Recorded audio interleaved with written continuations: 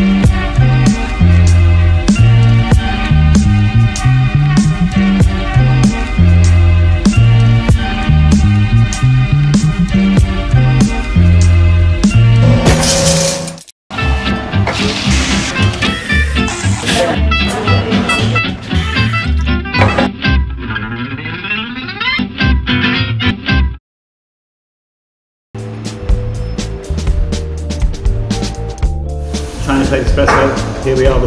James Wise, and we're going to be trying something he's brewed up for us.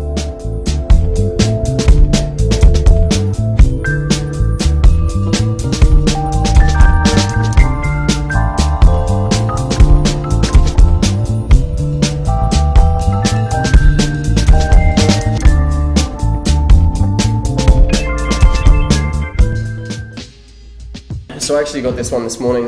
It's a roast specifically for flat white and milk bar. Drop Coffee, uh, if you watch one of our episodes, you'll see are Sweden based and they're fantastic. So I'm looking forward to this.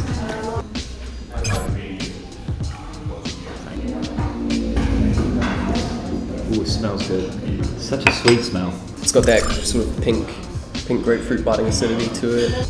I always try them before I, uh, before I sort of look at the packet, just to see whether I can get what's on there, or whether I get something completely different. Essentially, we only taste in like a few different ways, but then we sort of identify them as flavors we recognise within fruit. Um, so my education actually started under Volcano, um, which was sort of the the group that are doing assembly now.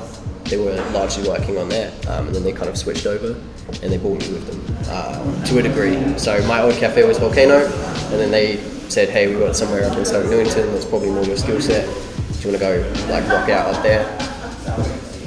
And I was like, "Yeah." And you're of the ripe old age of what? Uh, 22. 22. Yeah, so I'm still quite quite like a baby, I guess. Do you find that that age is a hindrance or a help to getting business rolling in, in London? Probably a bit of both, really. I mean, like you can keep track of anything at any age, but like uh, at the same time, because I'm like sort of growing with the industry, if you see what I mean, as opposed to coming into an industry that's um, sort of already like well established. Um, you know, there's there's still a lot of stuff going on within coffee, especially in London. I don't know. I've never massively come across that. Um, I think it's maybe because I look a hell of a lot older, so everyone just kind of takes it that yeah, this dude's like going on 30, so we'll just listen to him. Alright. Um, it's not until I turn around and I'm like, yeah, I'm 22, and they're like, what? Ah, shoot.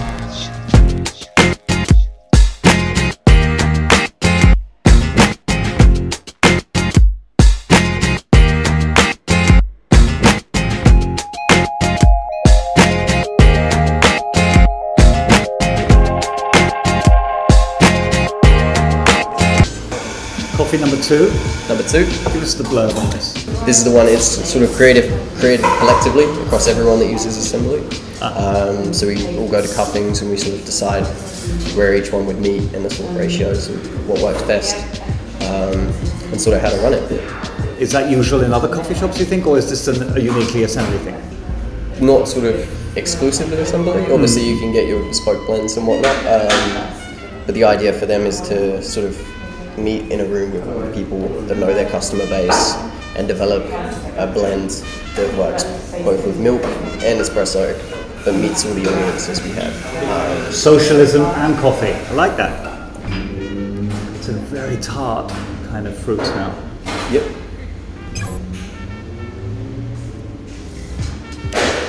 Ooh. It's incredible.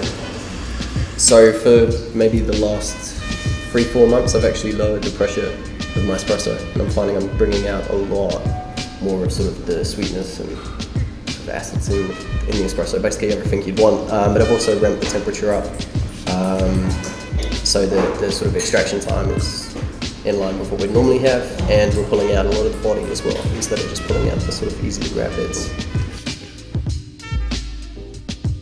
So you like this one? Yeah, I love this one, but I'm trying to identify. Sweetness is almost a molasses kind of sweetness. Yeah, it's got a huge amount of body to it, which is lovely. so I mean, I've always got a single espresso on, uh, single origin espresso. My house is a blend, and then I've got two different filters um, going that are singles at the same time. So it kind of gives that bright, like uh, wide sort of uh, variation, no matter where you are or what you know about coffee. You can come in and you can have your blend that's going to please you because it works well with milk, or as an espresso, it works well. Um, it won't necessarily educate you or be the most amazing single origin you've ever had, but that's why we call it this process. So that if someone does want to have that little bit extra sort of um, depth to their drink, and wanting to try it and take flavor notes or understand a bit more about the origin, they can have that single origin. Um, which I mean, most times we tend to go for something a little bit crazy. Uh, so great on their own, but again, 90% of my customers drink milk. Um, so we've got to have something that works with that, which is why this one's got sort of like you say, that dark molasses kind of taste to it, and it's going to cut through the milk. Um, just make sure that it's complemented. Hopefully. Anyway, that's the plan. I don't know. yeah.